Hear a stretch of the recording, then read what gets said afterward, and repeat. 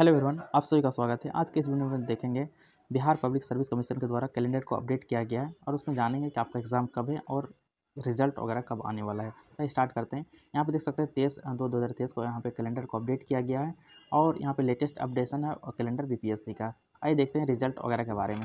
यहाँ पे देख सकते हैं, जो टेक्निकल एग्ज़ाम है, असिस्टेंट प्रोफेसर इलेक्ट्रिकल का, जिसमें दो सौ सतासी सीटें थी, उसका एग्ज़ाम कंडक्ट हुआ था बारह चार दो हज़ार बाईस को और उसका रिज़ल्ट पब्लिश हुआ था प्रीलिम्स का उन्नीस नौ दो हज़ार बाईस को और फिर उसका जो कंप्लीट फाइनल रिज़ल्ट आएगा एक तीन दो हज़ार तेईस को रिज़ल्ट आने वाला है। उसी तरह लेक्चरर सिविल का भी रिज़ल्ट फाइनल रिज़ल्ट एक तीन दो हज़ार तेईस को आने वाला है। लेक्चरर सी का भी रिज़ल्ट फाइनल आपका आने वाला है एक तीन दो हज़ार तेईस को, ठीक है? लेक्चरर इलेक्ट्रॉनिक्स एंड इंग्लिश का भी रिज़ल्ट आएगा आपको एक तीन दो हज़ार तेईस को आने वाला है, यानी एक मार्च को रिज़ल्ट आने वाला है। उसके बाद अब जो इसका मेन एग्ज़ाम है बीपीएससी का सिक्सटी सेवन और sixty eight C S C अड़सठवीं का सी सी तो यहाँ पे तीन सौ चौबीस सीटें था, उसका एग्ज़ाम हुआ आपका बारह फरवरी दो हज़ार तेईस को और उसका जो प्रीलिम्स का रिज़ल्ट आएगा सत्ताईस मार्च दो हज़ार तेईस को और इसका मेंस का एग्ज़ाम होगा बारह पाँच दो हज़ार तेईस से, उसका रिज़ल्ट आएगा और मेंस का छब्बीस सात दो हज़ार तेईस को और इसका इंटरव्यू स्टार्ट होगा ग्यारह आठ दो हज़ार तेईस से एंड फाइनल रिज़ल्ट आएगा नौ दस दो हज़ार तेईस को आएगा, ठीक है? उसी तरह सड़सठवीं का प्रीलिम्स एंड मेंस का एग्ज़ाम हो चुका है प्रीलिम्स का तो एग्ज़ाम हुआ था आपका तीस नौ दो हज़ार बाईस को और उसका रिज़ल्ट आया था सत्रह ग्यारह दो हज़ार बाईस को और उसका एग्ज़ाम कंडक्ट हुआ था तीस बारह दो हज़ार बाईस से सात एक दो हज़ार तेईस का और इसका फाइनल मेंस का रिज़ल्ट आएगा चौदह मार्च दो हज़ार तेईस को। इंटरव्यू स्टार्ट होगा उनतीस मई से, ठीक है? उनतीस मई दो हज़ार तेईस से इसका इंटरव्यू स्टार्ट होने वाला है, जो इसका मेन एग्ज़ाम है।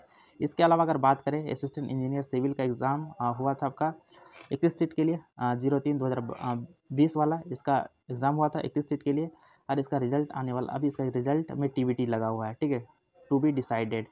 एंड उसी तरह बात करें तो ज़ीरो सात दो हज़ार बीस का भी अभी टी लगा हुआ है और इस सब, जो भी असिस्टेंट इंजीनियर का एग्ज़ाम हुआ था सिविल मैकेनिकल इलेक्ट्रिकल उसमें टीबीटी लगा हुआ है, ठीक है? उसका दूसरा एग्ज़ाम जो इंपॉर्टेंट होता है आपका सीडीपीओ का सी का एग्ज़ाम हुआ था आपका सीडीपीओ का पचपन सीट के लिए, पंद्रह पंद्रह पाँच दो हज़ार बाईस को एग्ज़ाम हुआ था, उसका रिज़ल्ट पब्लिश हुआ था, बारह नौ दो हज़ार बाईस को और इसका मेंस एग्ज़ाम कंडक्ट हुआ था आठ ग्यारह दो हज़ार बाईस से नौ ग्यारह दो हज़ार बाईस को। इसका रिज़ल्ट आएगा तेरह चार दो हज़ार तेईस को और इसका इंटरव्यू स्टार्ट होगा तीन पाँच दो हज़ार तेईस से। ठीक है, इसका फाइनल रिज़ल्ट आएगा चौबीस पाँच दो हज़ार तेईस को रिज़ल्ट आएगा। इसके बाद अगर बात करें, इसके बाद जो एग्ज़ाम कंडक्ट हुआ था सेनेटरी वाला तो उसको देख लेता हूँ। आइए सेनेटरी का एग्ज़ाम हुआ था आपको दो सौ छियासी छियासी सीट के लिए और उसका result assistant public sanitary and waste management इसका एग्ज़ाम हुआ था दो सौ छियासी सीट के लिए, बारह ग्यारह दो हज़ार बाईस एंड तेरह ग्यारह दो हज़ार बाईस को एग्ज़ाम हुआ था। और इसका रिज़ल्ट आने वाला इकतीस तीन दो हज़ार तेईस को एग्ज़ाम हुआ था तो इकतीस तीन दो हज़ार तेईस को इसका फाइनल रिज़ल्ट आने वाला है। आइए चलते हैं नेक्स्ट एग्ज़ाम के बारे में इसका जो नेक्स्ट एग्ज़ाम है ऑडिटर वाला असिस्टेंट ऑडिटर एग्ज़ाम हुआ था एक सौ अड़तीस सीट के लिए। बीस आठ दो हज़ार बाईस को एग्ज़ाम हुआ था, इसका रिज़ल्ट पब्लिश हुआ था प्रीलिम्स का सत्रह दस दो हज़ार बाईस को। और इसका मेंस का एग्ज़ाम कंडक्ट हुआ था पाँच ग्यारह दो हज़ार बाईस से सात ग्यारह दो हज़ार बाईस का इसका फाइनल रिज़ल्ट आएगा आपका मेंस के लिए। तीस पाँच दो हज़ार तेईस को और इसका इंटरव्यू होगा बारह छः दो हज़ार तेईस से सत्रह छः दो हज़ार तेईस तक, ठीक है? इसका फाइनल रिज़ल्ट आएगा तीस चौ तीस चौ दो हज़ार तेईस को इसका फाइनल रिज़ल्ट आएगा, ठीक है? तो जो मेन मेन एग्ज़ाम है उसका मैं शेड्यूल बता दिया हूँ और आप यहाँ पे देख सकते हैं।